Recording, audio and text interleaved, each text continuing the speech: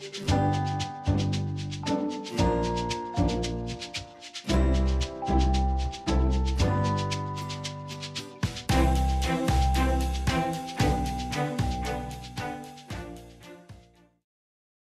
築の手前の都市の部分すごいリサーチをして考えていく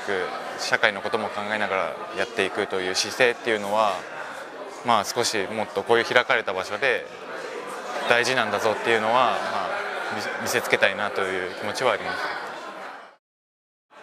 やっぱり手塚さんのこれは建築になってないと。多分まだダイアグラムの状態っていうかまだ設計の途中でしょっていうふうに言われた一言がとても響いていてああ確かにそうだと。本当はここからもっとディティールとか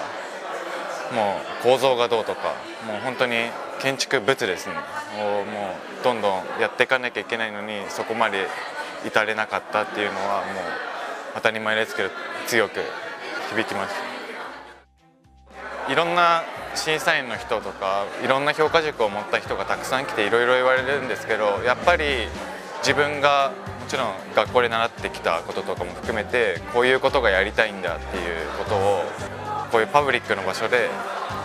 強く言っていくというか発信していくというかそういう意味合いがすごい大事ですね。